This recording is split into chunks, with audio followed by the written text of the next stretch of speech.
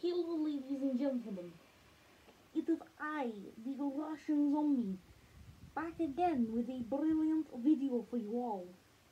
Today I'm going to be reviewing something very special in my heart, just like that Fortnite guy. By that I am talking about Animal Crossing New Horizons.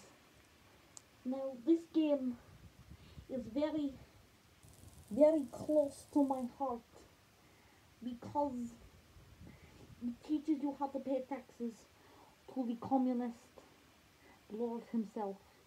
This man right here is the leader of Russia.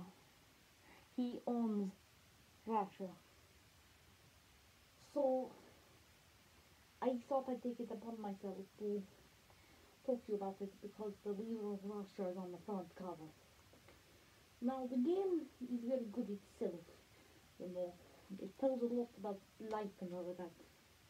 It teaches you how to pay taxes to the great Russians. Um, it tells you a lot. You get to meet new guys.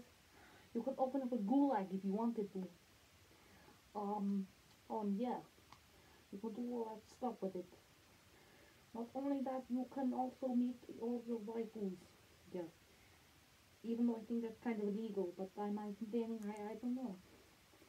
But either way, as you can see, it's a very special game because it has the of Russia on it.